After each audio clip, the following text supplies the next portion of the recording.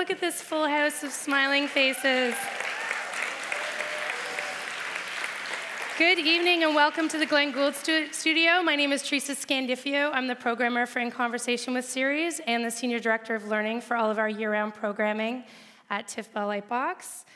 Welcome to tonight's In Conversation with Hilary Swank.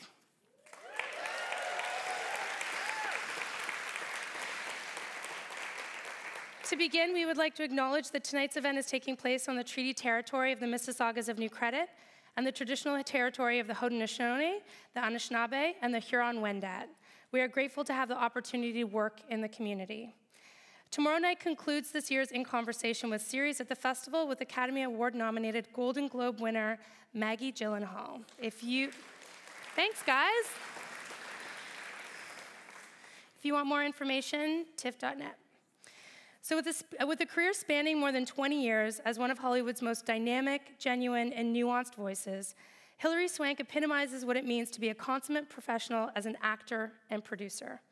A two time Academy Award winner, Swank has worked with such leading filmmakers as Clint Eastwood, Christopher Nolan, Mira Nair, Danny Boyle, the list goes on. Tonight, we are honored to welcome Hilary Swank on stage for a conversation about her illustrious and humbling career you will know what I mean when we're at the end of it. Humbling filmography that demonstrates her continued work centering the, story, centering the stories of people who persevere through adversity, including her latest film to play in our festival's gala section, What They Had. Please join me in welcoming our esteemed guest, Hilary Swank, to the stage.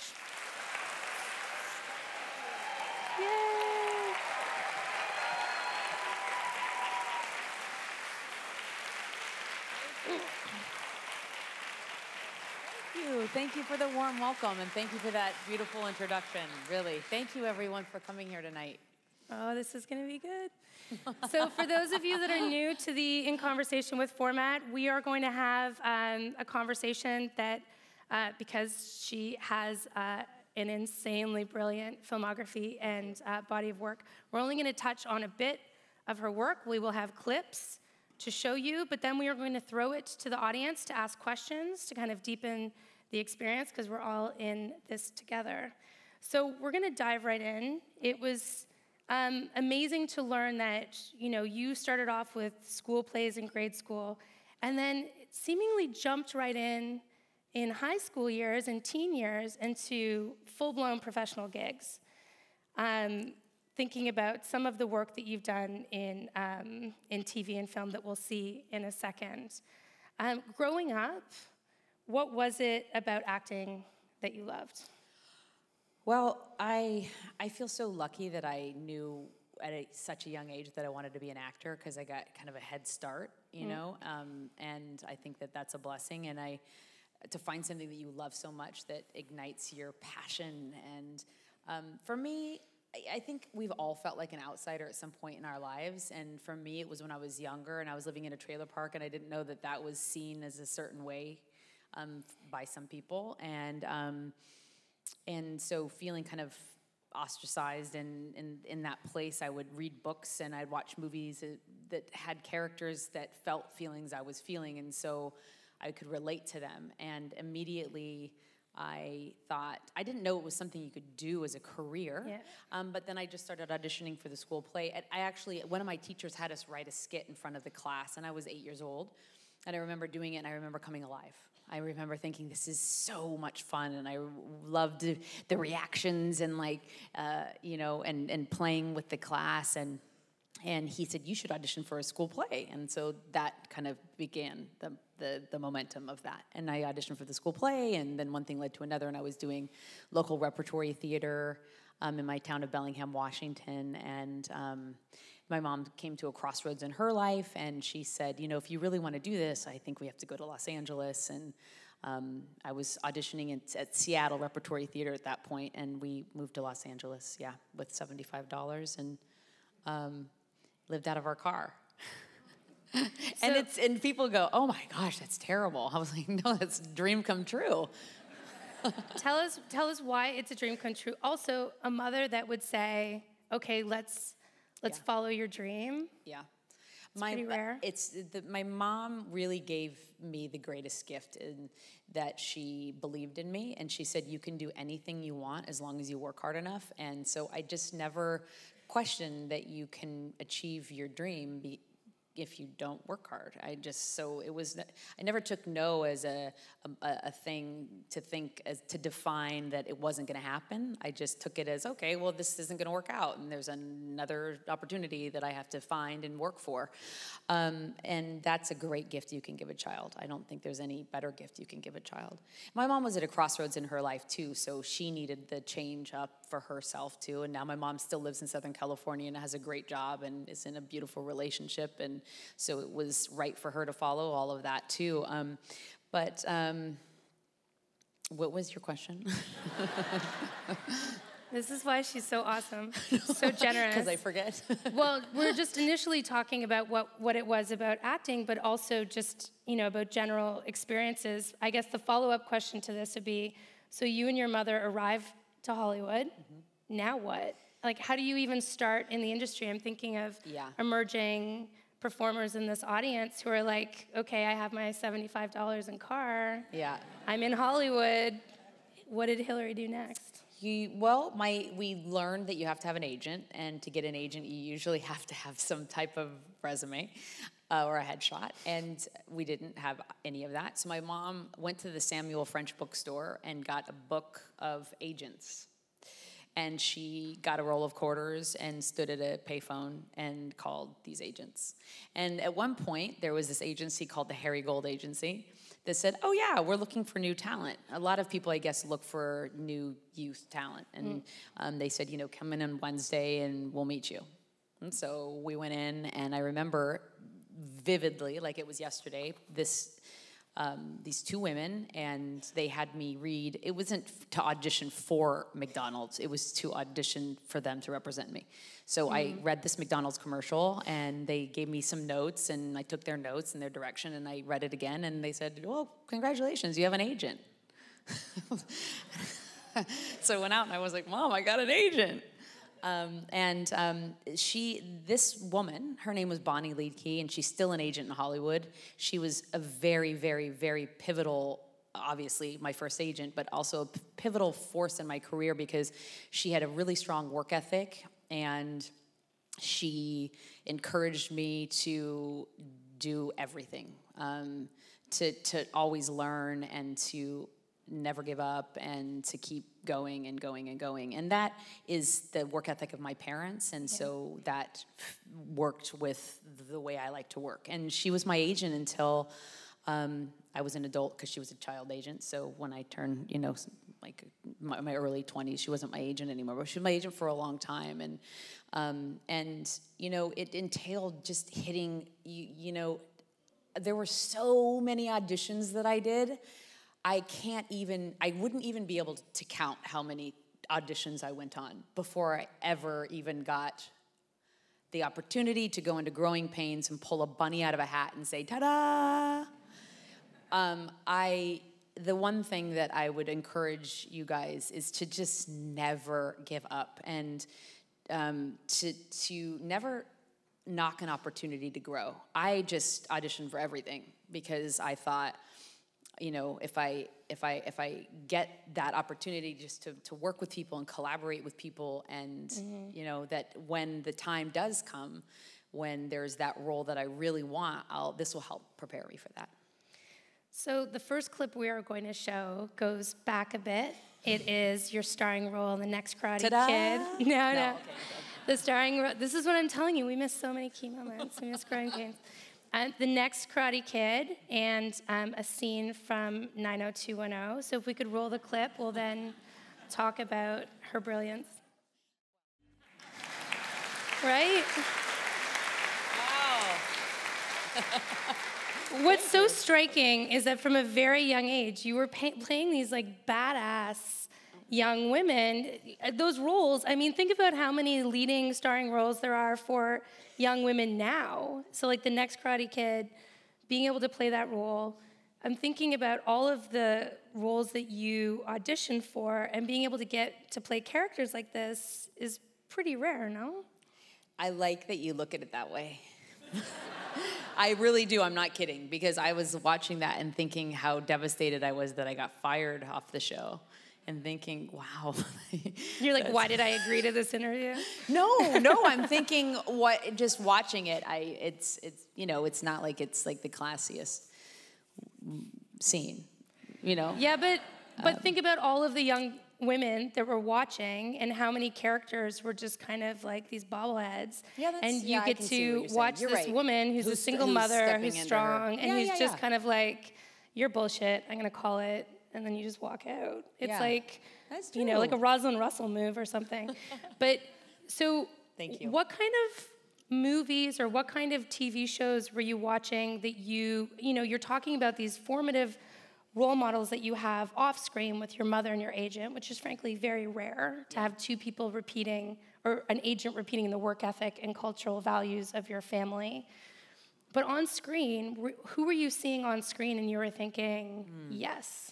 That's a really good question. Um, I mean, it's so cliche, but it, cliches are there for a reason. But I was watching Meryl Streep, mm. and I was watching the choices that she made that really um, captured difficult choices and um, being a woman and and uh, you know often a man's world especially in that time and um, navigating that with strength and beauty and um, persevering you know one of the things you said earlier when you introduced me was persevering through adversity and that's one of the things that inspires me the most in any human being whether it's an actor or these a lot of the true stories that i've been so blessed to play um, so it's really um, not just actors, but just real life people that I come into contact with and meet. And I think a big part of acting is um, empathizing, really.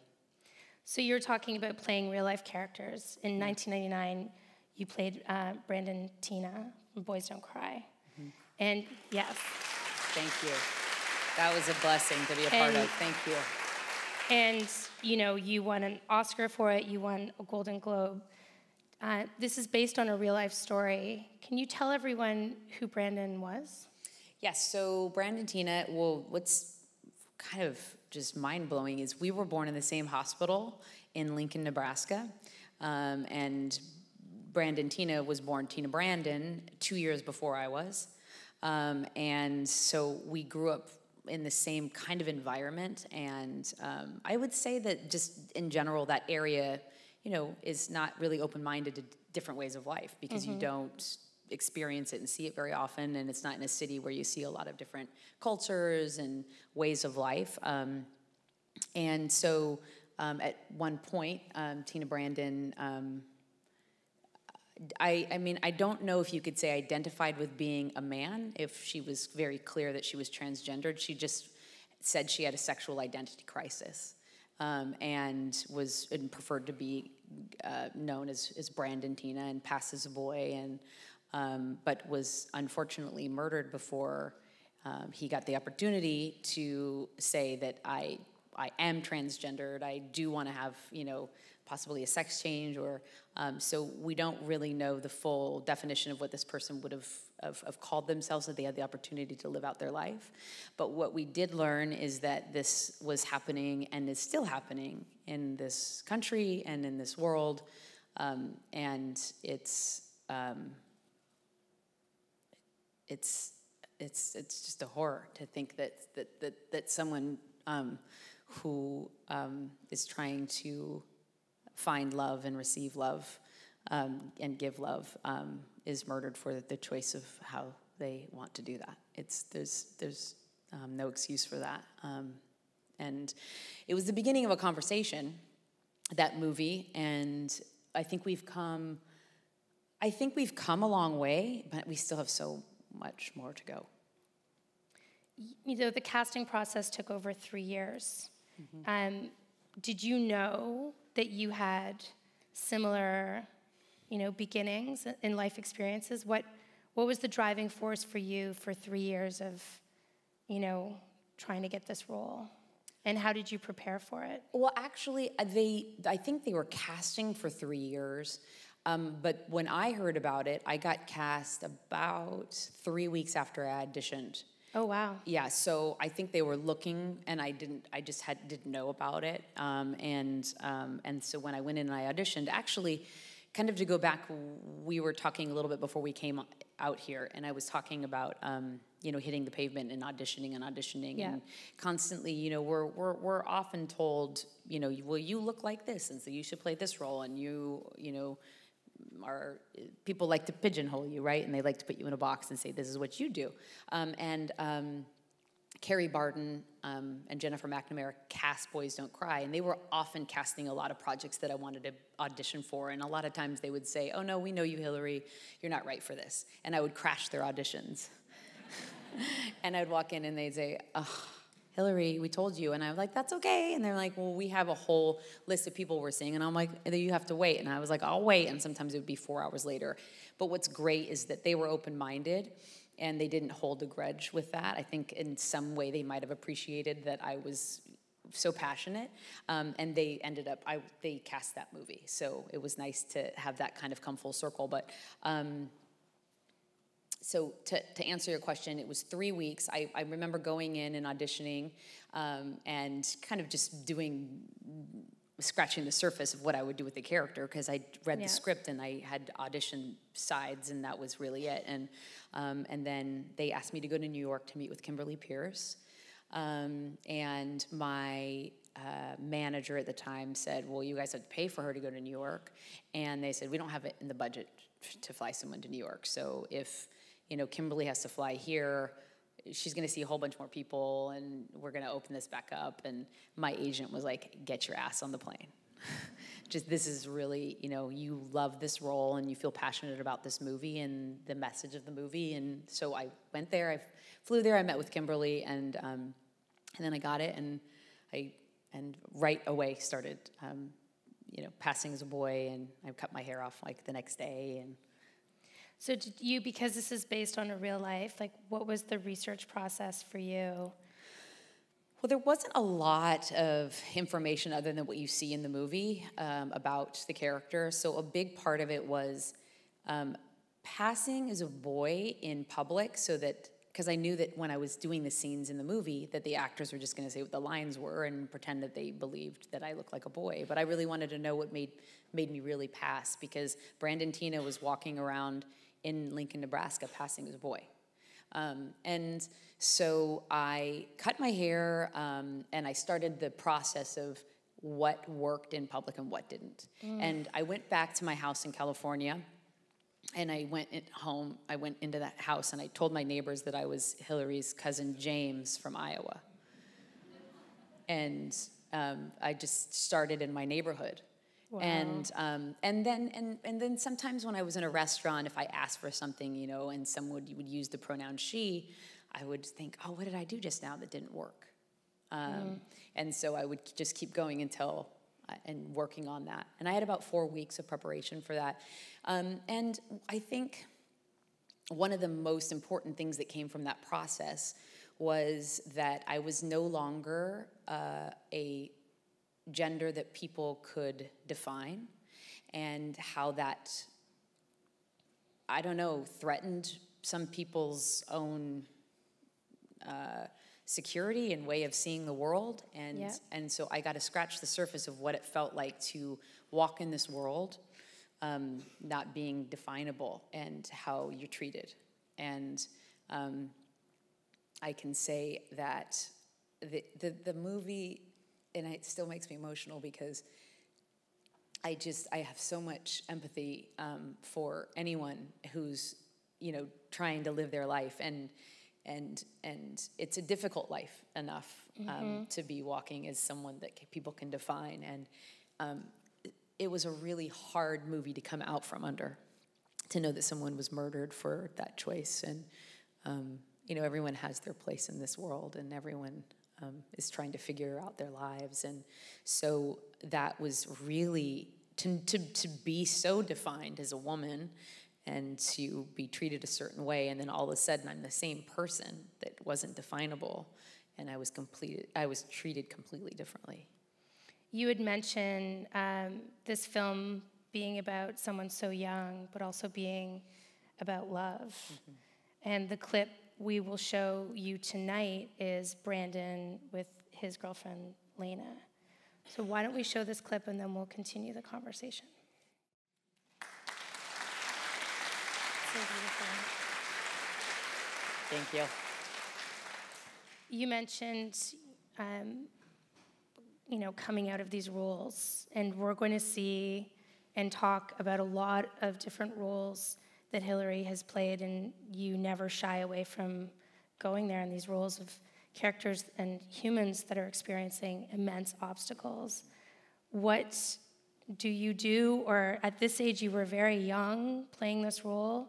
How did you protect yourself in, in coming out of some of these roles and well, I think when you're playing a real person and something like that happens to them, you don't really come out from under it. It's it's because they're not here any longer and mm-hmm. you know mm-hmm. that. It's not fictional where you can separate and say, "Oh, this didn't really happen. This didn't really happen." It really happened, and clearly it still affects me to this day. I I, I, I'm, you know, I just, it boggles my mind. And um, I, I was the spokesperson for the gay, lesbian, transgender, and questioning youth for 12 years after that and helped them build an accredited high school in New York City. And um, it's something that you don't ever get out from under until it's no longer happening, mm-hmm. you know, until everyone can walk safely in this world. So you mentioned, yes.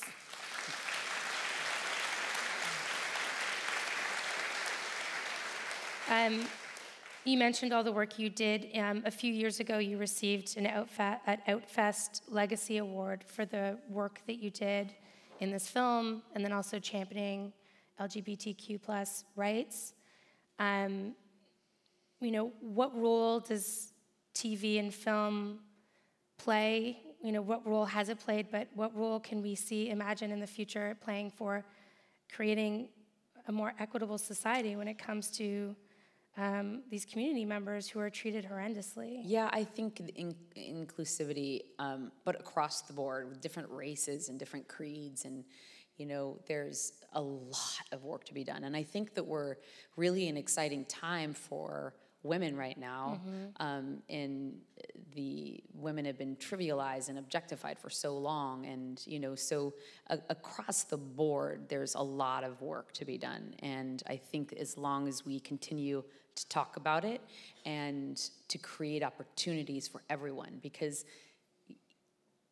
the beauty of art is that everyone has a place within it you know, and to have a business for so long be run by by white men, it it was so polarized and it was really one way of seeing things and that's just not the way the world is. If you step outside of the film industry or you step outside of some arts, right? You it's it's, it's so much bigger than that. So we I think are on an exciting it's a precipice of excitement because when Boys Don't Cry was made, it was one movie, yeah. and yeah. Um, now there's been a lot of other uh, of films and TV shows um, that that show all the different ways in which people live and walk in this world and. Yeah. Um, and I think we're, we're going to continue to do that. I think there's more opportunities now for more content than ever with all the streaming and all the other different ways and platforms. So I think it's an exciting time, but I think we have to continue to talk about it yeah. and to create those opportunities. It's amazing to think that that film was 20 years ago and the yeah. conversation that is only recently now getting into the mainstream. I know. Um, the, you know, I have been following your career since that film, but watching all of the films um, over again in, in preparation, it's like these characters are phenomenal. Um, the, the next kind of big moment that we're going to jump to in this conversation, because um, I would love for it to be like a 20 hour conversation, but I don't know, um, is, you know, thinking about your seminal role in the formidable uh, character of Maggie in uh, Million Dollar Baby. Thank you. Thank you. Um, and this performance won you your second Oscar. Let's roll a clip from Clint Eastwood's Million Dollar Baby, and then we'll start talking a little bit about this character and um, Hilary's performance. Thank you. That is just, um, that's, it's a, um, an always a dream come true, you know, getting to collaborate with Clint Eastwood. And I've never read a more perfect script. There wasn't one word that was changed. Hmm. Paul Haggis just wrote a beautiful story, and Clint is Clint, and Morgan is Morgan, and it is a complete dream come true. And I was I was 29 when I filmed that, and the last day of filming was on my 30th birthday. And I remember thinking, I don't know if it's going to get better than this, mm. you know. And I'm only 29, about to turn 30. I, um, and I just soaked up every moment on that set with those iconic people. It's amazing that you had perspective at a young age to, to know that you're in this moment. Um, I read in an interview that you said, thinking about Maggie's character and her kind of being fueled by boxing, that that is how you feel about acting and performing. Um, what is it that drives you to that point where, you know, you will tussle, you will show up to that um, that audition, even if you're not invited, that you will just, you know, it's not no, it's not yet. Mm-hmm. Um, thank you for saying that, for recognizing that. I, I just have this insatiable curiosity about people and um, what makes them tick and what makes them alike and what mm makes them different. And I feel the most alive when I'm telling stories about people that make me think bigger and make me and blow up on my blinders of how I see the world. And I feel so enriched by these people. Every single person that I've played has a place in my heart. And um, um, and I, when I'm acting and collaborating, I love the collaboration process so much. And it's it's always a, a lesson to. There's something to learn, and I really love to learn. So it's like the pers- perfect amalgam of all these things that I love all in one place and it just brings me so much joy. You talked about collaboration and you talked about character building. Uh, what was it like to work with an actor director on this on this project and, and others? Well, in, in, in the case of Clint, um, you know, you meet him and it's it's so it's so intimidating because yeah he, you know, he's Clint Eastwood, and yeah. he and and he quickly makes you feel very comfortable because he's just this breath of fresh air, and he's so real, and he's really, you know, I hate to like ruin your your idea of like go ahead, make my day, but he's a complete teddy bear, and he. Um, he's just a total love and he's funny and he stands in the lunch line. You know, he doesn't cut and he doesn't ask for someone to bring him his lunch. He stands and waits behind everyone because everyone needs to eat. That's the kind of guy Clint is. And, um, but when you're working with your director who you're also acting with, yeah. in the beginning, I was doing a scene with him and I could see that he was like kind of looking at me like the director.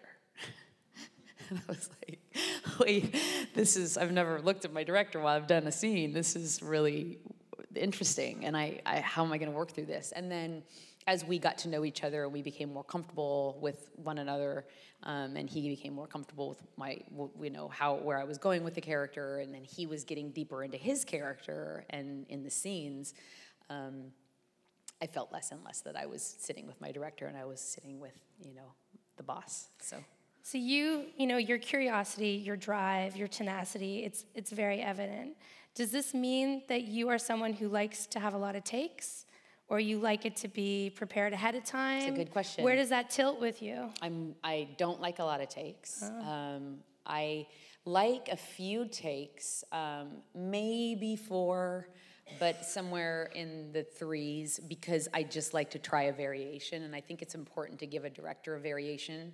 And because when you're editing, I think when a director has is in the in the in the room editing, they might say, "Oh, it would have been better to be angry only once." in this place and now we have these two angry Yeah. things and there's and that's just an example and um, you know and it would have been better if it was nuanced here and this was something different so i'd like to try and give choices um, for myself too um, to play the character and find the character as you're going. But i think for the most part and i think a big part of it was my training in television because you television is moving so quickly and you don't get more really than one two takes and you also they're cutting it so quickly that they're not looking for your best performance. They're just getting it cut together to get it on air. So part of my training was to get it all in one take That'd be terrifying. That it's just whatever random clip they find that they edit together. it's Not yeah. that I'm a perfectionist or anything, but that would be very uncomfortable to be like, oh, this one's good. And you're like, ah, my third one was really good. Yeah, but it's it's it is really good training, and especially when you're working with someone like Clint, who does is notorious for one take. So it and I am really prepared, but Yeah. I people That's not surprising to any of us in here. But I'm I'm really prepared for a, a myriad reasons, and one of the reasons is that it helps me squash my fear. Mm-hmm. So Totally. You were talking about curiosity and always wanting to learn. Um, and while you were saying, you know, the curiosity and learning, I was like, oh, so that's why as you're perfecting your acting craft, you're like, okay, now I'm going to also produce. And I'm going to start doing these other kind of projects. And that's a, another, you know, when you're talking about empathy and seeing from another lens, that's a totally other lens to see the project. In something like um, conviction, um, how did that project, you know, how did you see that project and say, yes, this story needs to be told? And then again, with real life story, how did you as the producer and then as the actor make decisions on how this story would come to life? It's a really good question. I think that, first of all, I jumped at the chance to play Betty Anne Waters. She's this force of nature who, you know, has the qualities that you're talking about in a lot of the characters I play. She's a, she's really a, this force of nature that will never give up mm-hmm. until justice is served. And um, getting to meet her and to see her utter conviction um, in conviction is that the word? In her brother. You know that she um, believed from the beginning that he didn't do this and when no one else believed that. I mean clearly he was on death row. And um, that she was a high school dropout and she got her GED, and then she went to college, and then she went to law school to get her brother out of off death row. That is commitment at its finest, and she is just um, it's that's an inspiration. And so I jumped at it. But as far as being an actor and, and a producer, there's I think you th- uh, understand the inner workings of of um, film. At you know, I've been doing it now for 29 years, and I think that you get this great opportunity to help see a movie get to the screen that you really believe in, and part of that is championing the the director really and their vision and helping that vision get to the screen by pulling favors or you know because making a movie is nothing short of a miracle sometimes. I mean even on that film we were the day before we didn't even know if our financing was going to come in. And the crew was like gosh if we don't get paid i'm so sorry but we can't stay and and you know and then it just came in like by the hair of our chins and so you're constantly working to keep a, a movie together when it's low budget films What was it like to balance both staying in the headspace of the character and advocating off screen for all the moving parts? Well, I think that I work better when I'm multitasking. Hmm. Just my, I, I it, it probably leaves me, yeah, Yeah. it leaves me less time to worry. That's smart. um, I found a quote from you that I loved, and I hope it's okay if I read it. As an independent woman myself, as a woman who, for all intents and purposes, people will probably call bossy, I have a real clear idea of how I see the world and how I want to live the world, and I want to see my dreams realized. You said this in reference to why you chose to play the character of Mary B. Cuddy in Tommy Lee Jones' Homesman. Tell us about Mary B. Um, Mary B was so ahead of her time. You know, she, um, she, I think that was one of the movies that I had so much fun on. Um, I have fun on a lot of my movies, but that was a lot of fun because I was also in the middle of New Mexico and I was riding a horse and I would, um, between scenes, um, get to go out in the middle of nowhere on a horse and learn lines. And then they'd give me a 10 minute warning and I'd ride my horse back and I'd ride my horse back to my trailer and I'd ride my horse to lunch. And I, I love horses. Um, but um, also it's just, um, she was, uh, also she was so she wore her heart on her sleeve.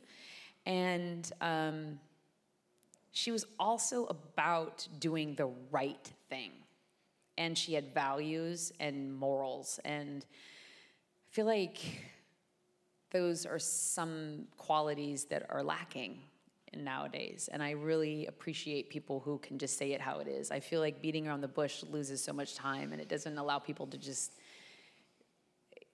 learn about themselves and learn about how to um, just i don't know you know it's like just let's get to it. Let's get to it so we can all live our fullest potential. We don't need to you can you can have creative creative uh, criticism and and you know what i mean? And and and, get and get to yeah. the heart of it. And i like that about her. Yeah. So can you um, tell the audience what she was, what her quest was, like what she was trying to achieve in the film for people who haven't seen it yet? Well, um, she was a woman on a journey to, um, well, in that time, it was a really dangerous time. It was before there were trains and it was before there was medicine, and you get sick, you pretty much die.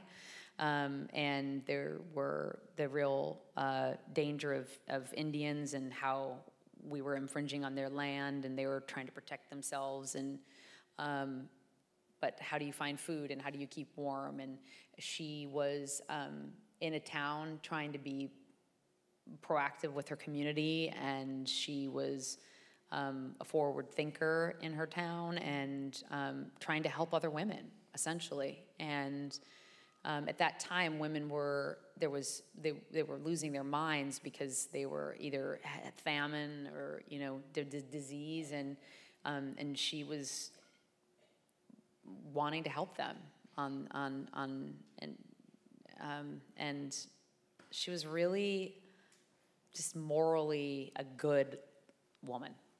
I don't know, is that helpful? You guys like, what is yeah. this movie about?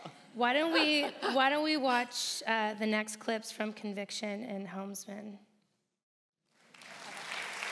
Right, there's that through line from Carly and how she says it how it is. So that, thank you. I was just saying that there's that when you said there's that through line from Carly Reynolds and saying how how it is to that scene. I see it now. It's funny. So good, so good. The um, these characters, all of these characters, um, they're not traditional heroes. There's a lot of obstacles in their way. Um, they have, you know, all of these strengths, but they also have these blind spots. When you're playing these roles, when you're thinking about the audience, how do you do these performances without having it be perceived or flattened out as the female archetype of the victim? Hmm. Well, I feel like, you know, they're flawed humans and they're trying to find their way amongst uh, the, the, in, within the movie and, um, and they're, I don't think that any of them are victims. They're just having their life and they have mm-hmm. fallen on unfortunate circumstances. And we've all had those moments. Some are way greater than others. Um, and I think that, um, but that's what we relate to, right? It's like the idea that we all go through unfortunate moments, and even though they're different, the feeling is still the same within them. And um, so I guess that that's that's how I see those characters, you know. And to play them as a victim would be a disservice because I don't think they see themselves like that. Well, to see Mary B. Cuddy in this role, just being in the scene, being like, cut the crap, this is your gig. And also that the dig would be like, you're a man of low character. It's like he's a drifter. Um, but, but then in the next scenes, when they're picking up these women and their children are there and she's showing such compassion for it, the range in it is, is incredibly brilliant. I kept thinking about with your films about how it's so good that now there are more female critics to write reviews, to see all of the multidimensional aspects of these scenes. That's so interesting you say that because last night I was having a conversation with someone and, um, from the Hollywood Reporter, and he mm-hmm. said for the longest time they had eight white men as their critics forever until last October. Yeah. That's crazy. Yeah. So, I mean, in all diversity, right? We need racialized critics. We need yeah. people from all different perspectives. Exactly. It is bananas. Yeah.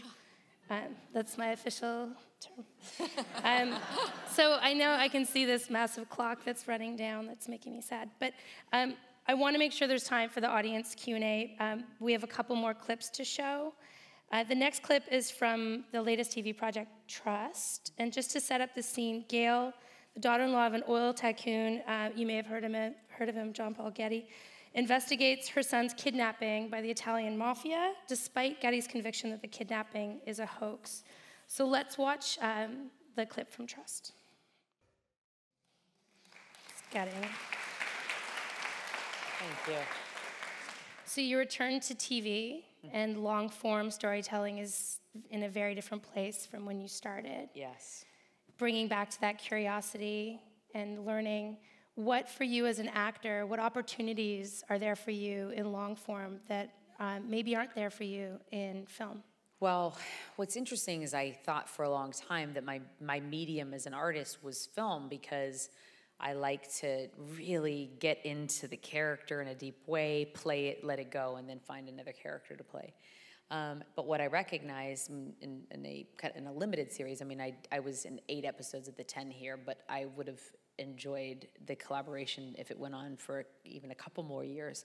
And what the, the one biggest thing that I recognize, which was really a, a great opportunity, is in a two hour film, approximately, you have, you know, it's like the moment where there's the, you know, the falling down and then getting back up and then the, the, the, the almost giving up and then the the crying and then the anger and the you know there there are those moments and mm-hmm. they're they're they're very clear in the script. But in a long form, you get the opportunity to dive into the gradations of those moments.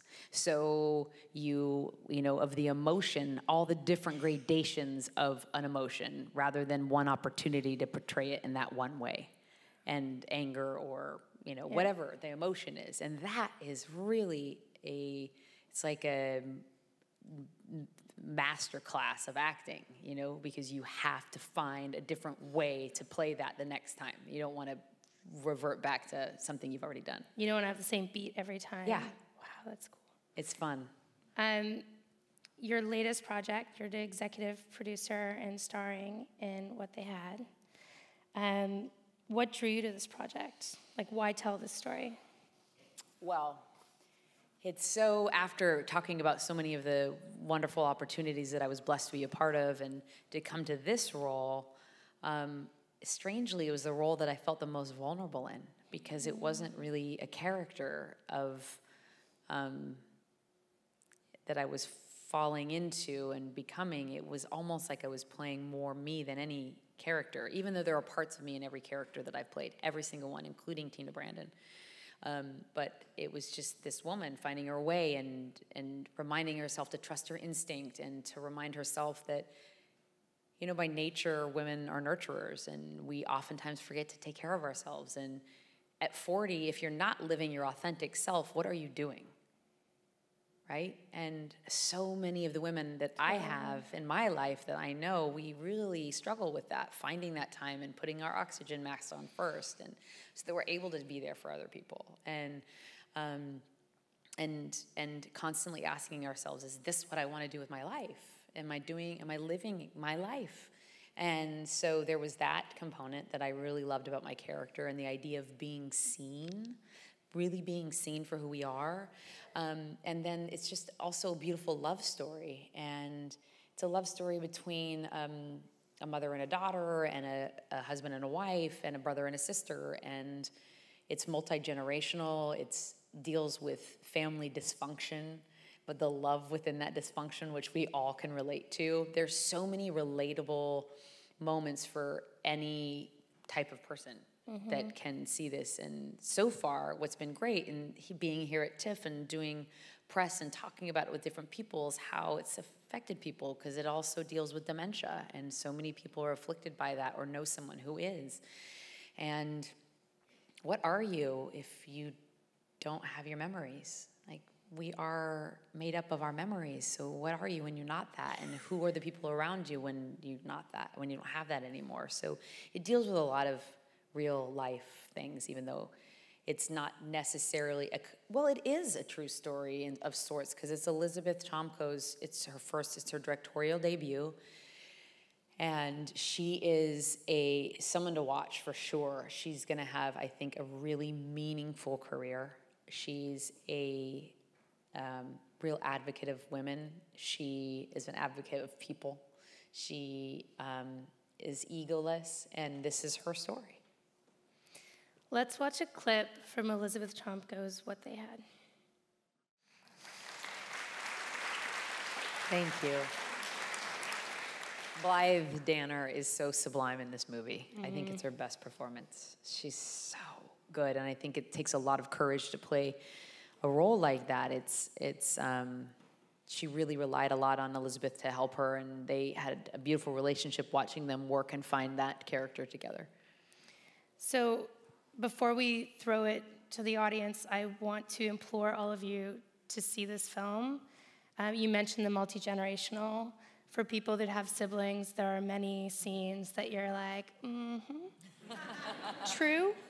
For the multi generational, with you know the parent, the grandparent, and the child, but also just more generally, if you think about any kind of personal dynamic that you have with people in a community, and someone passes away or their memory goes and, their ro- and your roles change, what that can do to your worldview and to your personal life. And it throws all of these things into a totally different flurry.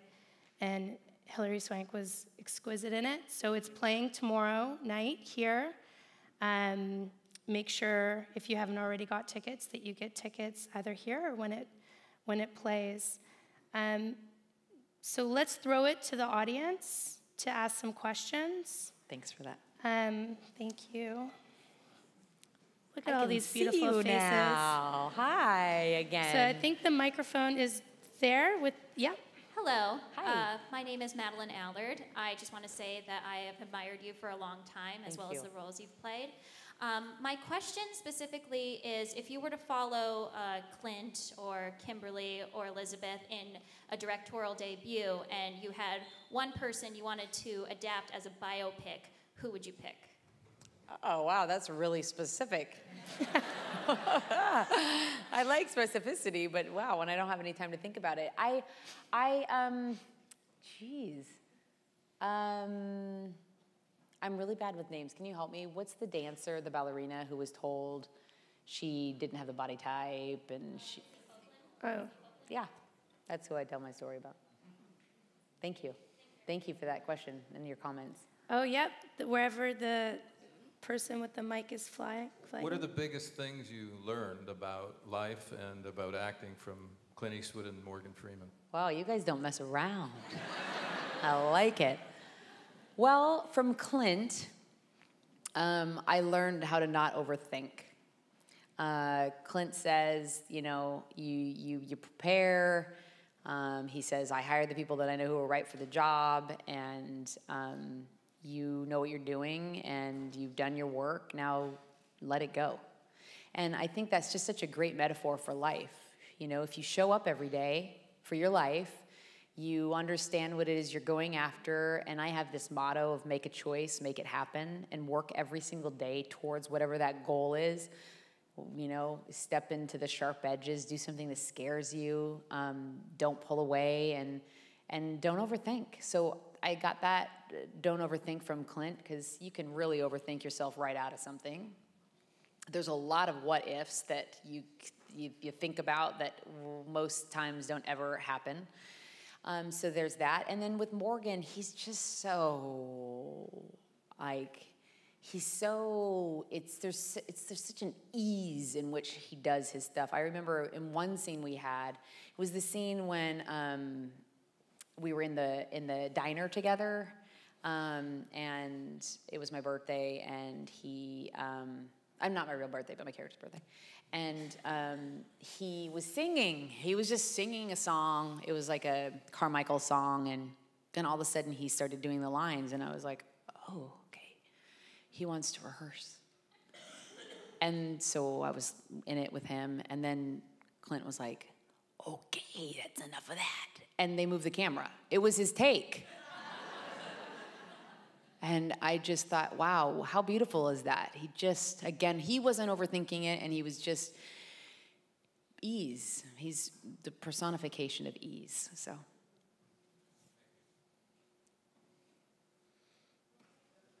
Thank you. Uh, I was wondering if you could share with us if there's any common things, common steps, something that you always take when you, when you build a new character, discover a new character. Mm although you did a variety of things, but if there's something. There is. I'm, it's a great question. And I always find that, you know, people are very specific, right? Every single person in here knows, you know, their childhood trauma and that one thing that happened that they can't ever get out of their head. And they know their favorite color and they know the food that they don't like and they know what it is that they want to have happen, right? We're specific. And I find that it's super important to find specificity in character. So I like to create a really vivid backstory that you you really bring into every single scene. And sometimes a, a, an actor will surprise you in improv, and then you're ready for that. Um, so finding the specificity of the character with all those, pretty much answering all those questions of what I just said um, that we know about ourselves, and um, and then breaking a scene down, breaking every single scene down. So one thing that I like to do is I take a story, the whole script, and I from myself, not for anyone else in the movie or not for the director or anyone, I say, what is this movie about to my character? And I write that one sentence on the front of my script, and then all my scenes have to lead back to what that's that is. And if I can't find that, then I have to sit down with the director and say, what is this scene about? And so just dissecting each scene and what it's about and what you want from it and what, what the obstacle is. And um, I love breaking my script down. It's, and I like at least four weeks to be able to do it. Thanks, it's fun. Hilary, would you then say that over the years, would preparedness have been your best defense against any kind of self doubt that came up for you? Yeah, absolutely. Um, I think um, no doubt about it. I've, I've with if if I also when I'm that prepared, I like to know my lines inside and out too. I know them because sometimes I get surprised by an emotion that comes up that I wasn't expecting, whether it's from another actor or you know or sometimes you're just really tired and your brain doesn't work and it's you you know and so i like to be prepared so that um, that i can as we talked about let go of my nerves in a different way. Doesn't mean my nerves aren't there. I'm completely like bef- day before school uh, well, you know when you used to go to school and you were, couldn't go to bed the night before that's me on every single film and so the more prepared I am, it's just it helps helps squash those that that that those types of nerves, and it allows me more room to play. Yeah. Yeah, on this side. Hi, Hilary. Hi. Uh, let me record this because this. That's great. Thank you. now, since your movie is about memories, I have a memory right here. And I wonder what are the memories in your life that you would like to forget and those that you will never want to forget at all? Well, well, with you recording it, I'm never going to be able to forget it. so maybe you should stop recording. um, wow, what Wiggy? wait, what do I want to forget? Well, the things I want to forget are probably the things I should remember because they're things that still need attention. Probably. You know what I mean? Like when we think about the stories that we've been talking about, real life stories of, you know, I don't like to remember that Teena Brandon was murdered, but I have to remember, and we all have to remember so that it never happens again, you know? So I think I answered that question all in one. What do you want to forget, and what can you not forget?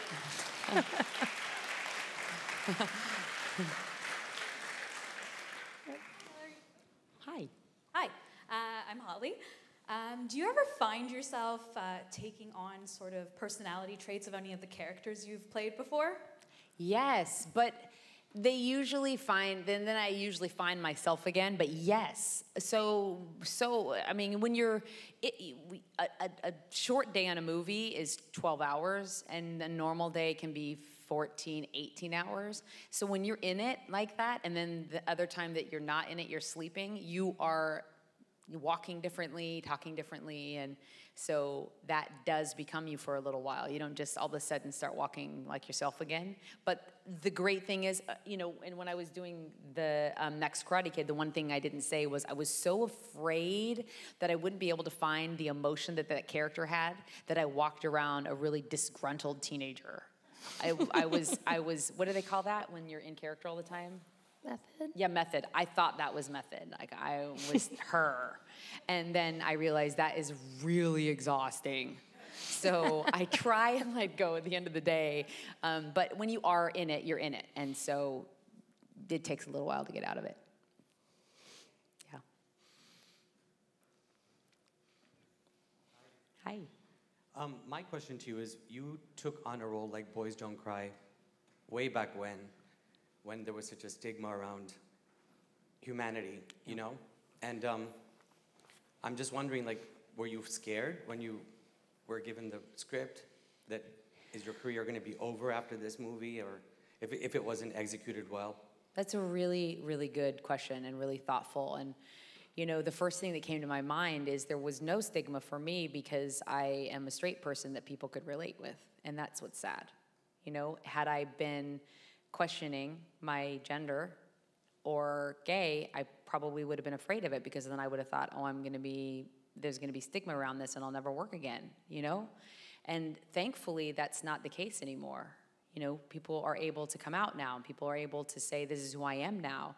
But um, so, no, I didn't have any of that. And I was really, really grateful for the opportunity to play um, play Teena Brandon and to understand, like I said, just to scratch the surface of what it was like to, to, to, to live in that and walk in those shoes and see what that was like and expand my idea of humanity, my thoughts about the world.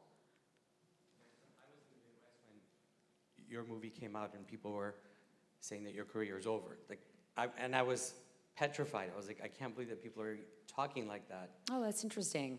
And it was mainly, you know, the white groups that just Oh. felt that that movie should not have been made. And I'm sure. I'm it sure. was heartbreaking to see that, you know, that conversation go on so long ago. But as people like you have come about making brave films like this, thank you because change does take a, a long time. And It does. it took 20 years, but we're, we're getting there. Yes, we are. Yeah, Thank so you. thank you Thank you so much. Thank you.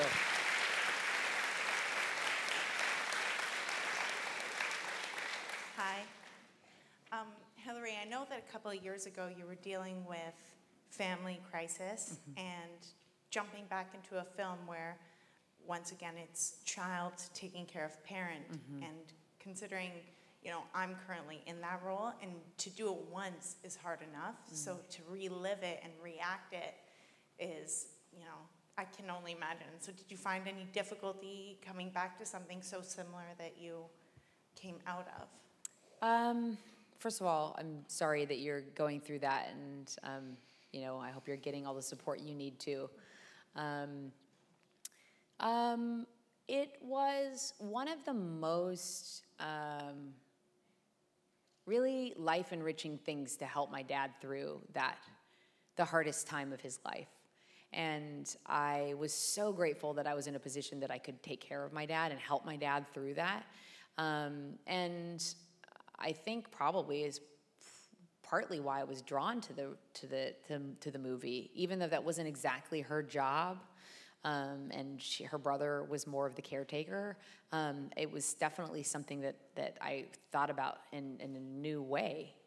And there's people all the time who are in that position who are being a caretaker and doing interviews and talking about that and talking about how important it is for people in that position to also find support and that they are taking care of themselves too. It's just it's just a, life course. You know, we're born and someone's taking care of us, right? And then all of a sudden we're taking care of ourselves and we're really strong and then we're taking other of other people and then we're taking care of our parents it's kind of a life cycle and um, it's a beautiful one if you really are present in it and i was really really honored with the opportunity to be in the movie and dealing with that in, in a different way thank you hi Hilary hi hi um, I hope I don't regret asking this, um, but there's an episode of The Office um, that's centered around um, most of the characters. They have a debate about whether or not you're a beautiful woman. Mm-hmm.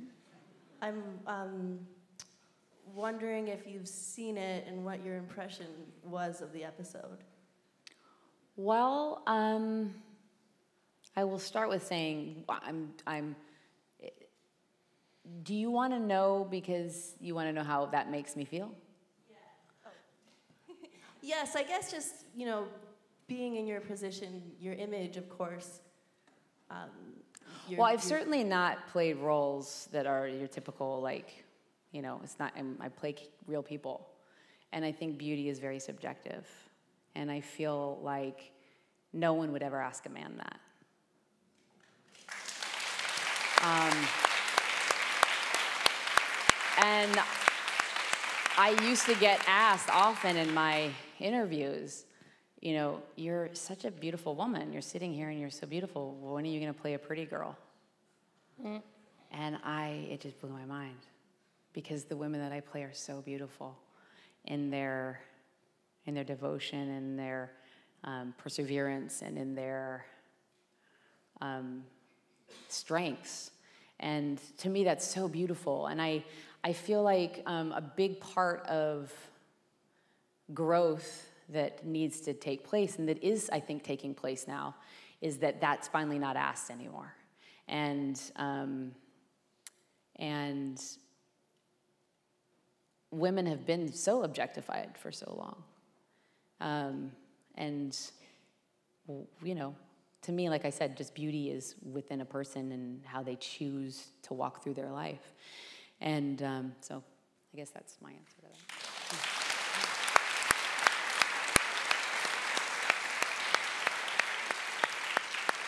Hi, Hilary.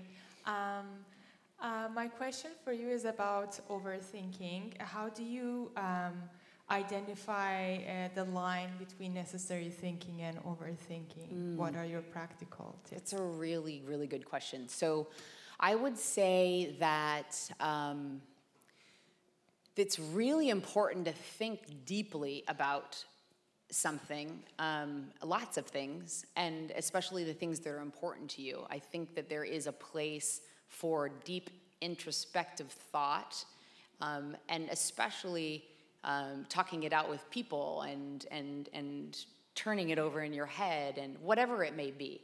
But then I think where overthinking becomes negative is when you start thinking about the consequences of taking the action or the negative, the possible negative uh, things that could be associated with it, instead of saying, This is something that I'm passionate about, thinking about it, thinking about how to make it happen, um, and then you fall into the fear thinking, the fearful thinking, and that's when overthinking becomes a negative.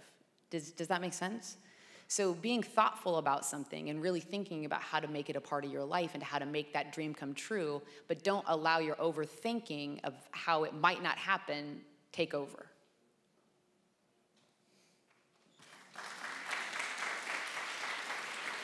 Thank you. Hi.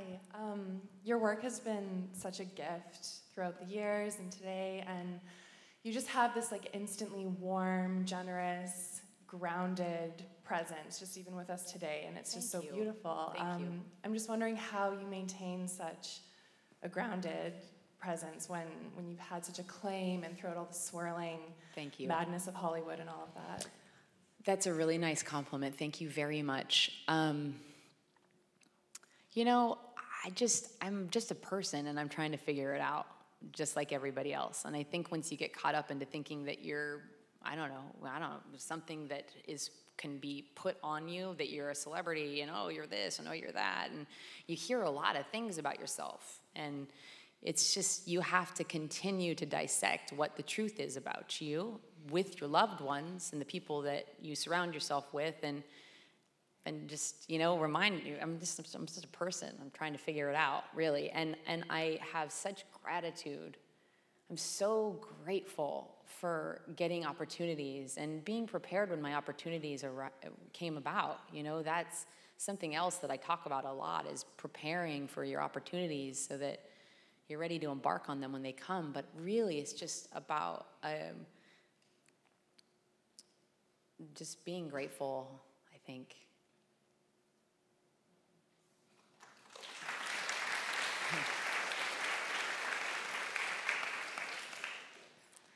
I'm really curious to know what's next for you. I mean, you've done some absolutely incredible work. You're clearly evolving in terms of the scope of your responsibilities. What's next?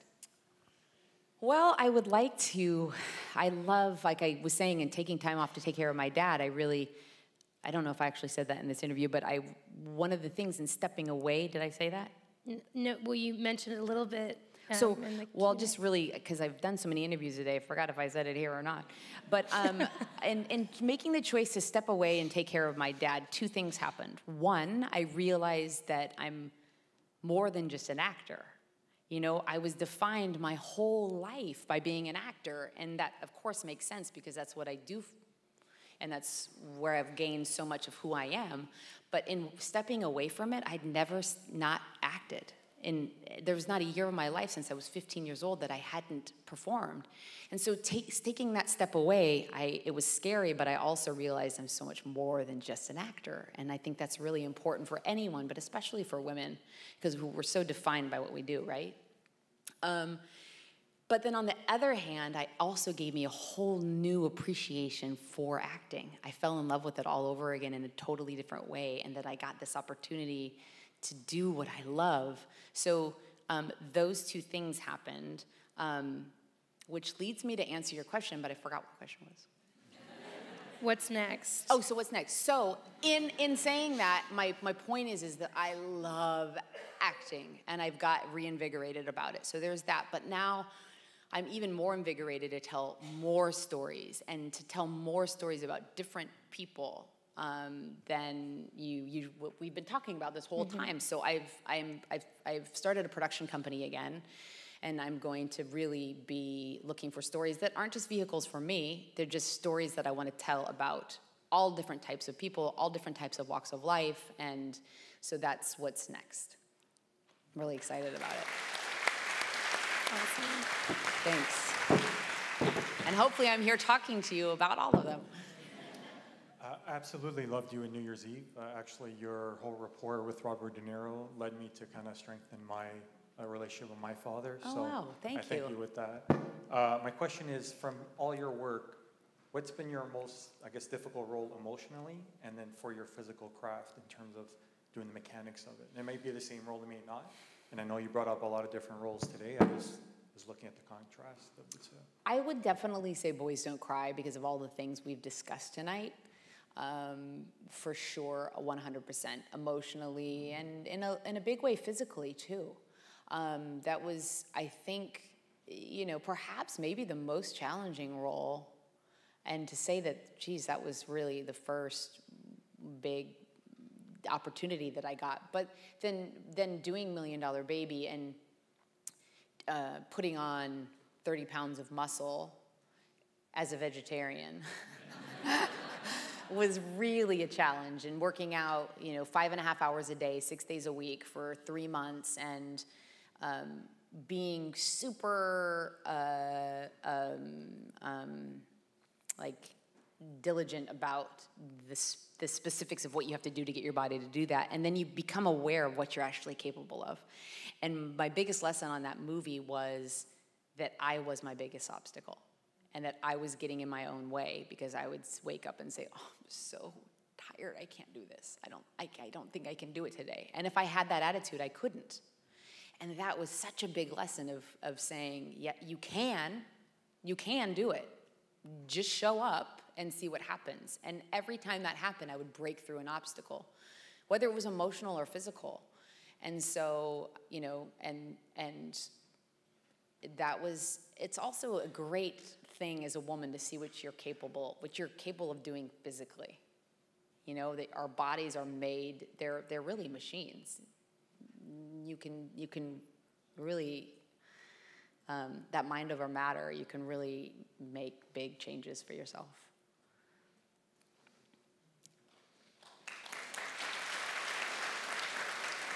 thank you Hi. what a great Hello? group Is this on? Okay.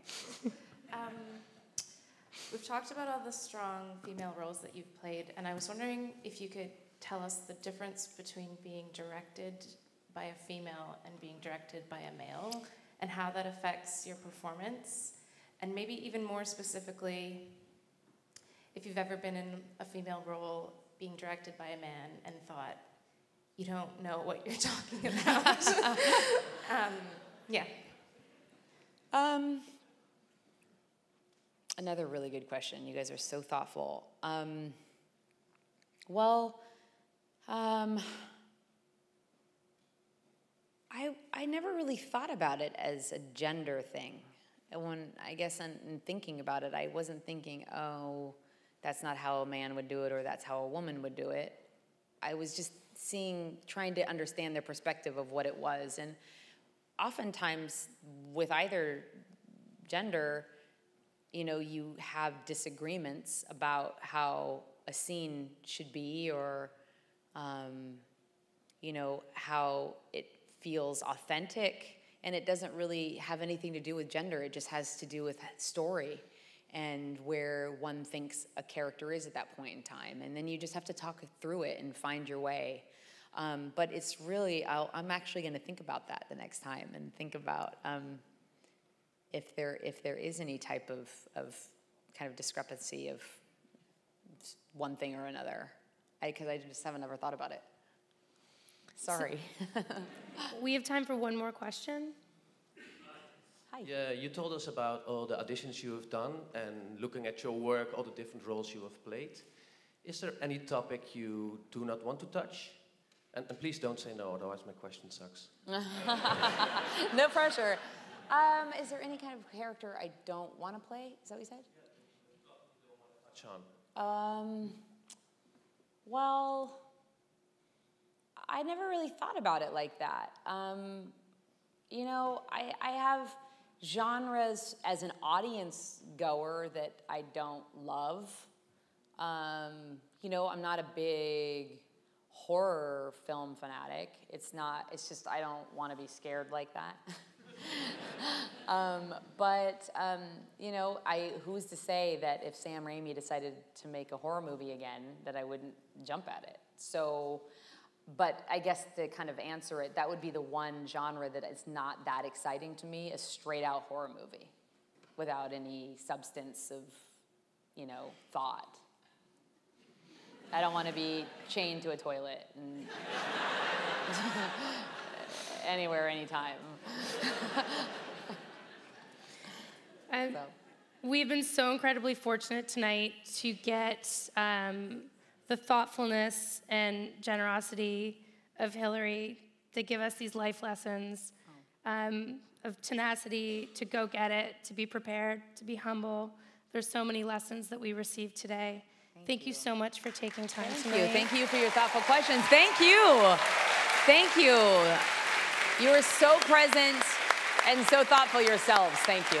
Thank you, everybody, for being here. Thank you.